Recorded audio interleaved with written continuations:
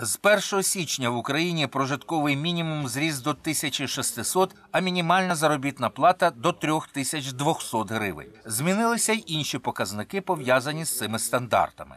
З початку року набрав чинності закон, що передбачає передачу низки податків на місцеві бюджети. Усі ці зміни напряму впливають на розмір єдиного податку. Яким він буде для підприємців у цьому році, вирішували сьогодні на громадських слуханнях у виконкомі міськради. Наголошувалося, податкове навантаження на підприємців платників єдиного податку в цьому році значно зросло.